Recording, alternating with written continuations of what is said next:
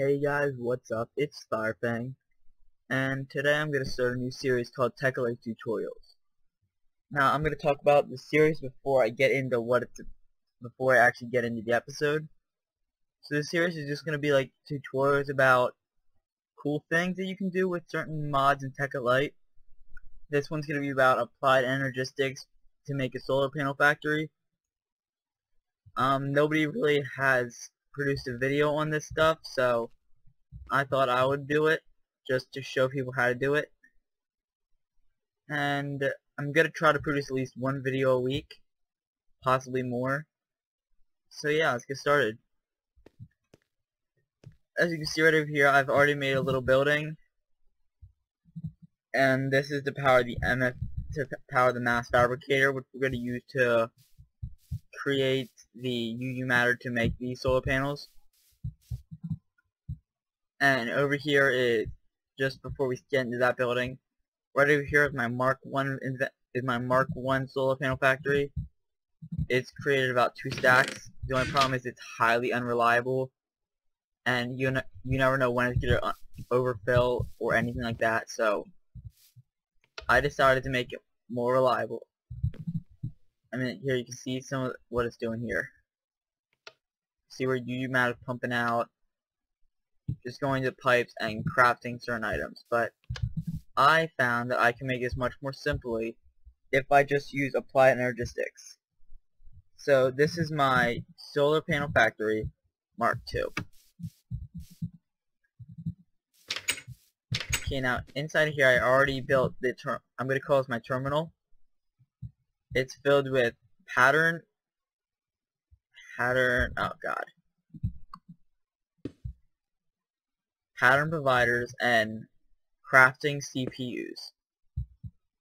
Heat, you need to put heat vents on all of the inside, like right inside of these ME assembler containment walls. Wow. The next thing you're going to need is a ME pattern encoder. Now what this does is if you say do that and you just hit encode, it'll put something on the card. But I'm using this card for my next video. You guys will see what that is shortly, but for now I'm going to show you how to build the solar panel factory. First thing you're going to want to do is feed a wire from this terminal, and I'm just going to bring it right over here. And next thing you're going to want to actually, you're going to need to do is you're going to need to place one ME controller and that's actually just about it for there. You can, you only need one. You're also going to need an ME chest along with, um, here's my storage device.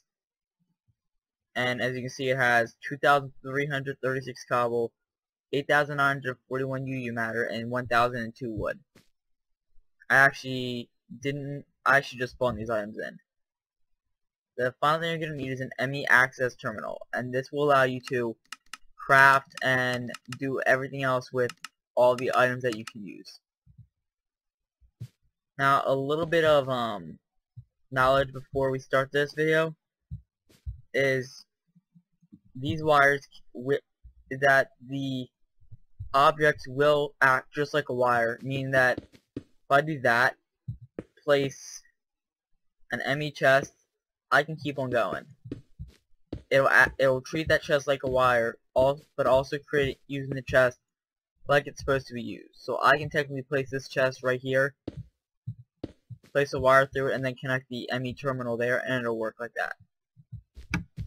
But, okay, let's start this up.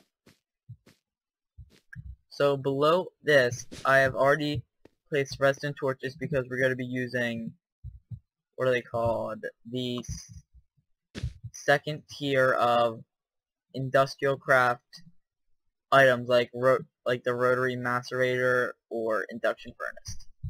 Furnace. So we're going to place induction furnace there. I'm just going to do this two spaces for each thing, just so I have a bit more room. You guys can do it one space at a time, just place those like that but I like like this so I can actually interact with the macerator and look inside and stuff. So on each of these objects, you're going to want to place an ME import bus, not an export bus. The export bus is used to place items inside of objects. Like if you wanted to, you could place scrap boxes inside of this mass inside of a mass fabricator. Because I'm gonna place one there anyways to start generating RUU matter. And then I'm gonna set it to times zero. So this is generating RUU matter at a pretty good rate. And with this, I'm actually just gonna do this. An MEX import bus. This will import the items into the system. Then I'm going to connect it to here. And so you can see now this is able to get UU matter from this. So as soon as this fills up, you can watch right here. Or here, I mean. Yeah, it's actually pointing out instantly. So watch the number right there. Yeah, it went up by one. And it'll do that. Just like that.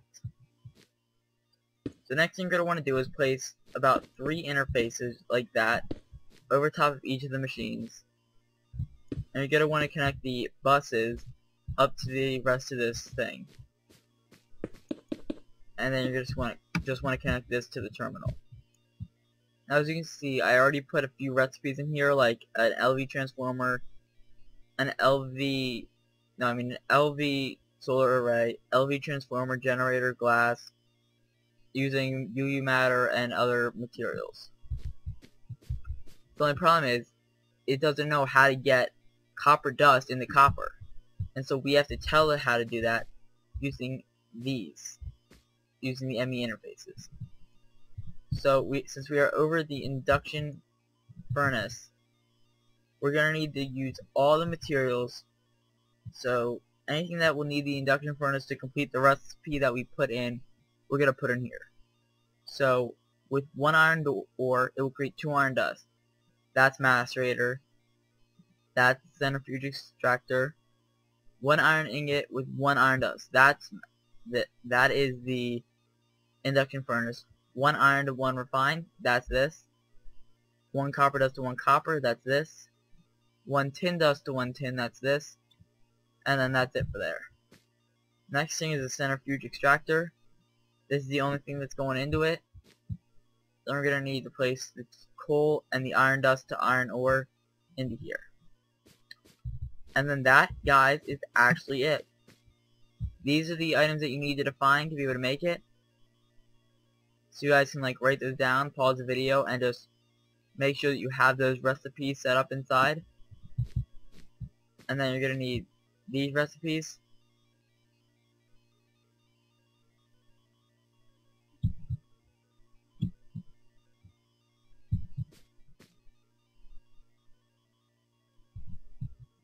for all of this stuff.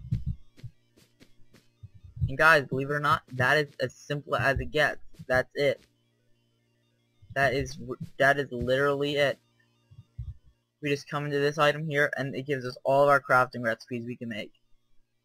So if we want to, we can craft an LV solar panel. But let's craft something that'll take a little bit less time, because we don't have much time for the video unless I find out how to increase the time to like half hour or whatever. So let's see it working here. We can see it right here actually making the ores here. It's putting them in to try to pull the stuff out that we need. It came out of there and it's going right into this machine. And you can see it actually crafting materials. Then all of a sudden it'll take down all those and just put in a what do, what do you call it? The yep, there it is. Right there. And since I've been game of one, it really doesn't count when it's placed, but yeah, it, this will not take many materials to make. You'll just need a way to power this mass fabricator so it can produce a pretty good amount of UU matter, or at least you're going to have to wait to craft it each time.